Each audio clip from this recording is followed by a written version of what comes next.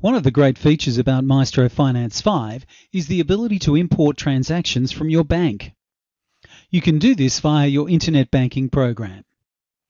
You first need to export a file from your internet banking program. If you're not sure how to do this, read the FAQ pages in your internet banking program or send them an email. They'll be sure to help. The file format that gets exported from your internet banking program is a .qif file. To import this file, click Tasks in MISTRO Finance 5, then click Import Bank Transactions. You now need to select an account to import to. I'll choose the farm account.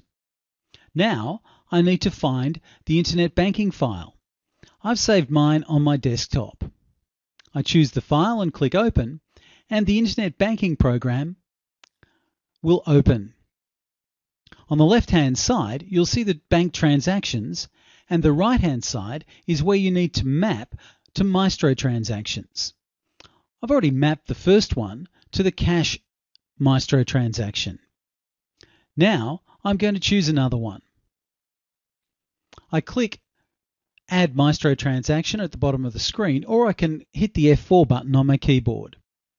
This will launch the Internet Banking Link window. Now I need to link a trader. I type in the name of the trader and press Select. When I'm satisfied, I press Save. Now I need to enter the transaction details, assign a category, and enter the rest of the details. When you've done so, press Save.